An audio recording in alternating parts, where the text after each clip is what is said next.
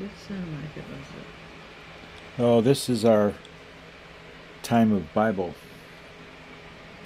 When we talk about the Bible, our faith, uh, why we don't go to church, and it's not because it's full of hypocrites, even though that's true. The reason why we don't go to church is because the pastor is Lord there's no room for the body that is members of Christ, you, me, and my wife, or whoever, to become part of the assembly. To be assembled together is to be connected together, not a stage with one person or a worship team up on a stage and then everybody's sitting bound and gagged in their seats. So, art thou bound to a church? Better seek to be loosed.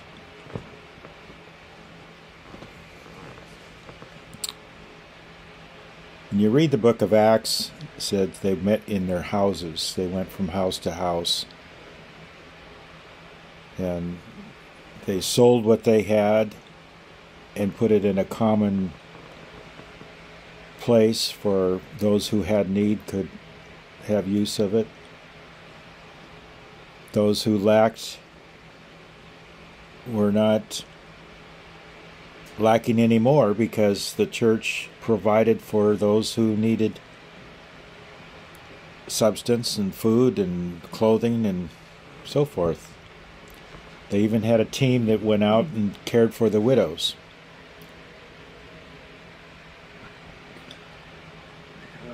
Stephen was one of them. Stephen was appointed to oversee that. And it says he was full of full of the Holy Spirit and the power of God.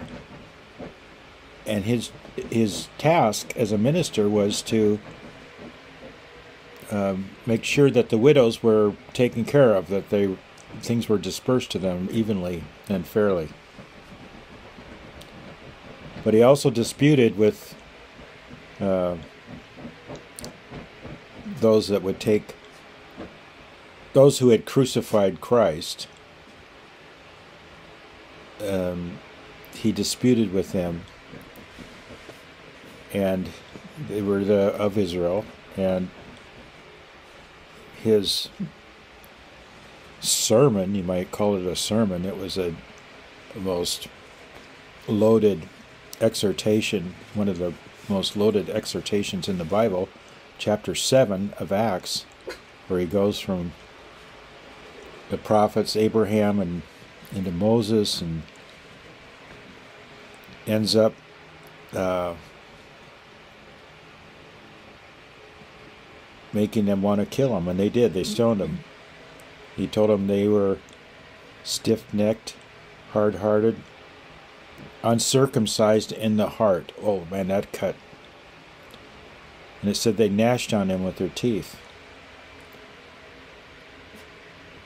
And they stoned him, and when he was being hit, pummeled by rocks, he looked up into heaven and saw Jesus standing on the right hand of God.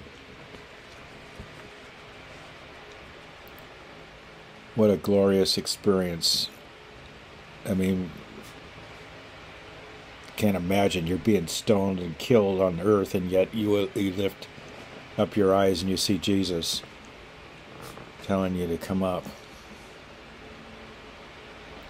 And one of the witnesses of that event was Saul, who later was known as Paul the Apostle.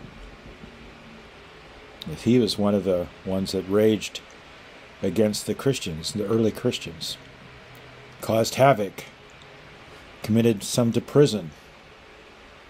What a glorious conversion he had when he met the Master of the universe, Jesus Christ, who told him, It is hard for you to kick against the pricks and the pricks being the conviction of the Holy Spirit. It's not easy to do.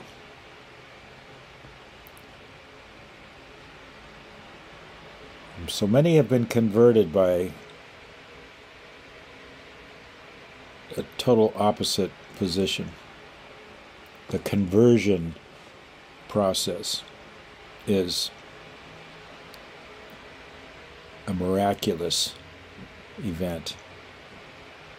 Jesus told Peter, when you are converted, this is when he was his disciple, when you are converted, you will strengthen your brethren. This was a preempt when Jesus went went to the uh, was crucified in his journey there. Uh, he told Peter that he would deny him three times before the cock crowed three times. Not so, Lord. I would never do that. But he did. The Word of God, you can't counter it. God says something's going to happen, it's happened. It'll happen. And after that, he wept, Peter wept bitterly. We can only imagine how he was very reluctant to feed my sheep, Jesus said. After that event, when Jesus was risen from the dead, he said, Feed my sheep. But Lord, you know I love you. Lovest thou me? Feed my sheep. Hmm, there's a connection there. If we love Christ, we will feed his sheep. All of us. All of us who know the Lord. We have been called to feed his sheep. He is the good shepherd. He's given his life for us. Not as the hireling pastors who, when the enemy comes in, they flee and the flock is destroyed. I hope you're having a good day and that your sleep will be in peace and you will meditate in the Word as it blesses your soul. God bless you.